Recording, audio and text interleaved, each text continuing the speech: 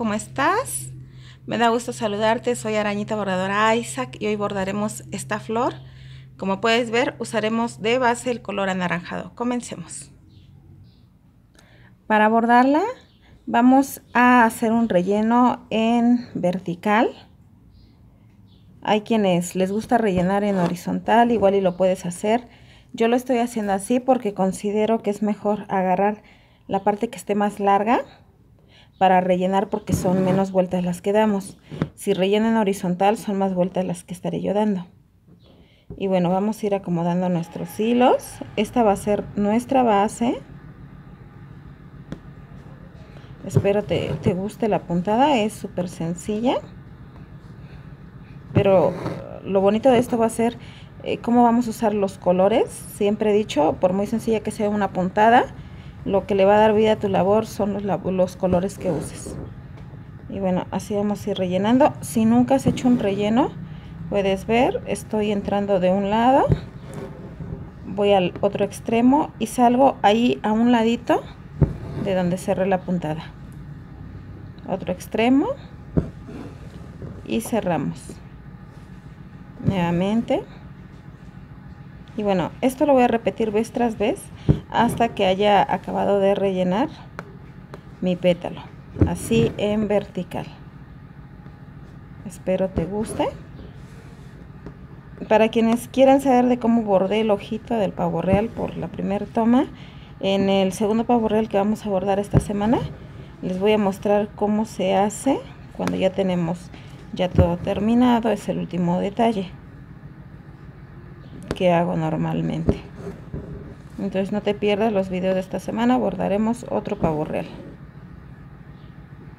Y me, pidieron puntadas sencillas, usaremos puntadas súper sencillas, pero los colores son los que le darán todo el, el toque a nuestro trabajo. Bueno, termino de rellenar y regreso con ustedes para que hagamos nuestro siguiente paso. Pues he acabado de rellenar toda mi flor y ahora vamos a usar para hacer nuestro pétalo estos tres tonos de rosa. Bueno, no, no son tres tonos de rosa, este rosa, este rosa mexicano y este es morado o guinda. Es guinda. Es que de repente ya no distingo a través de la cámara los colores. Estos son los que vamos a usar. Y vamos a hacer lo siguiente me estoy situando en la base de mi pétalo y voy a hacer un petatillo. He cambiado de aguja también les comento. Normalmente uso aguja de caneva número 14 o 16 y ahorita voy a usar una aguja listonera para que se me haga más rápido el proceso de pasar. Vamos a trabajar de la siguiente forma. Vamos a trabajar sobre 6 arriba 6 abajo, 6 arriba. Pues así vamos a seguir, les decía, 6 arriba, 6 abajo. Así los tomamos y acomodamos nuestro hilo. Contamos vamos a dejar 2 4 6 arriba 6 abajo y seguimos. Como puedes ver lo estoy haciendo inclinado no lo estoy haciendo recto. Y ahora voy a fijar ¿dónde voy a fijar mi aguja? ah bueno aquí donde se abre la separación de pétalos. Ahí estoy fijando mi aguja y voy de regreso pasaré exactamente igual. Misma forma de pasar. Esto lo voy a hacer tres veces así que no hay pierde. Nota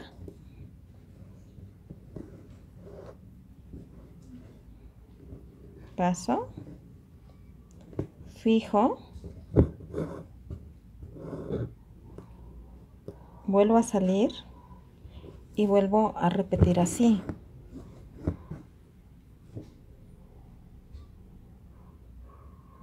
aquí ya estoy de regreso. Son tres vueltas. Y ahora voy a bajarme aquí para aprovechar y usar este mismo hilo ya que enhebré largo. Entonces me paso. Y voy a repetir este mismo paso a todos los pétalos voy a hacerlo otra vez aquí así de esta forma a este también de aquí así con este color rosa. Me voy a subir un poquito más porque no estaré yo agarrando todos los hilos y tienen que estar todos desde la base. Entonces voy a repetir el mismo procedimiento. 6 arriba 6 abajo con rosa o si quieres lo puedes hacer al tanteo. También si te gusta la la idea de no contar lo puedes hacer así. 4 6 levanto. 6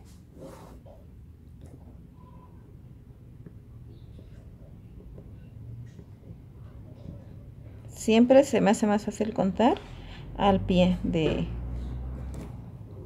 de las hojas o de las flores. Así hasta terminar. Este paso decíamos a todos se los haremos así de aquí a aquí. Así nos van a quedar nuestros pétalos, como pueden ver. Van así como si fueran en, un reilete. Y ahora con el siguiente color, puedes ver, estoy siguiendo el mismo patrón. Vamos a hacer lo siguiente. A ver, la acomodo bien. Ahí está. Ahora las que dejamos abajo van a ir arriba. En este caso, estas estaban arriba, les corresponde abajo. Perdón, arriba. Ya me estoy poniendo nerviosa, que escucho mucho ruido hoy más del normal. Así. Y estas las vamos a levantar. Así, de esta forma. Van, las van abajo, las que estaban arriba y viceversa. Así, de esta forma. Nuevamente vamos a pasar tres veces de la misma forma y vamos inclinando. Checa que tiene que quedar tu puntada inclinada. Un espacio proporcional aquí y aquí. Y pasamos de regreso exactamente igual.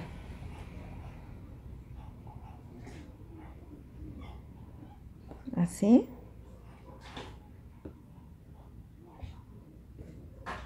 Ahí puedes ver.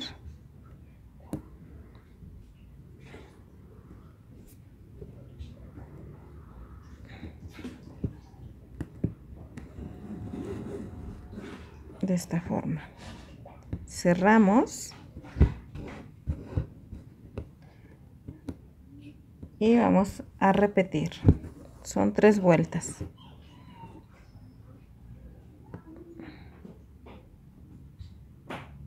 así si te sobró hilo bueno bajas te recorres para que lo aproveches y lo uses. Este mismo paso se los voy a hacer a cada uno de mis pétalos. Y regreso para que hagamos nuestro siguiente paso. Nos bajamos así por contorno para que no quede nuestro hilo atravesado de aquí a aquí. Nos bajamos así. Y ahora sí a repetir nuestro paso ahora vamos a hacer cambio de color y con el siguiente tono vamos a trabajar la parte de arriba. Recuerda que aquí las que dejaste abajo aquí las dejaste libres. Bueno aquí vamos a hacer nuevamente lo mismo.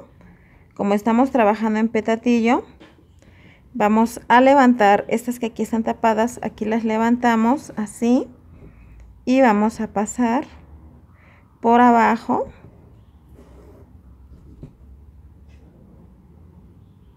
de las que están arriba. Así. También ubicamos que nos quede esta distancia aquí mismo.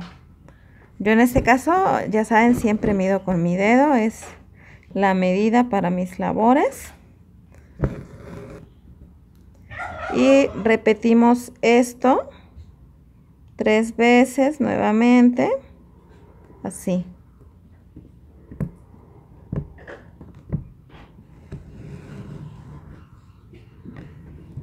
Acomodamos si es que se nos hace nudo nuestro hilo o se nos enredan nos acomodamos. Tres vueltas haremos. Nuevamente pasamos.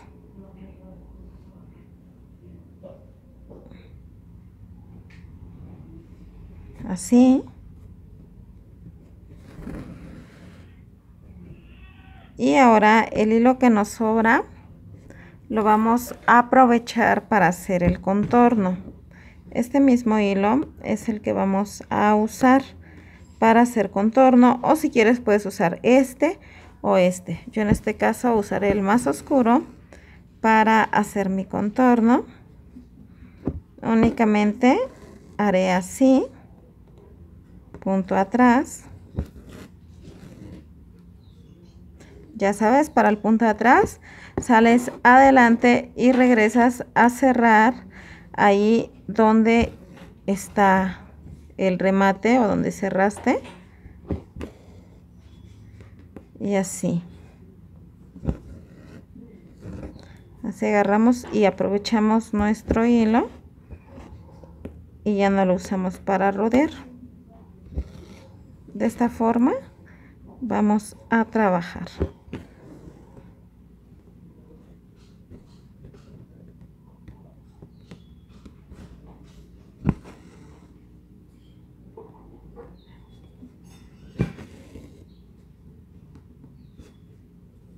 sales. Adelante. Regresas al punto anterior para cerrar. Y bueno termino de hacerla y ya se las muestro cómo se ve ya terminada. Espero les guste y bueno, así es como se van a ver nuestros pétalos ya terminados, delineados y en estos tres tonos. Espero les haya gustado la puntada, ya con calma terminaré los otros. El centro le voy a poner color amarillo y ya sea el tono rosa o el tono guinda. Eh, usaré la puntada de centro de girasol por si la quieren buscar en el canal. Es la que voy a usar aquí en el centro. Así es como quedó ya casi termino la labor y ya en la semana seguimos bordando pavos reales. Espero les guste la, las puntadas que hemos estado usando y nos vemos en el próximo video. Sigan aquí en Arañita Bordadora Isaac, cuídense mucho, sigan todavía tomando las debidas precauciones. No piensen que ya se acabó la contingencia sanitaria, por favor. Es lamentable leer que más personas están falleciendo debido a que estamos siendo irresponsables con nuestra salud y la de nuestra familia.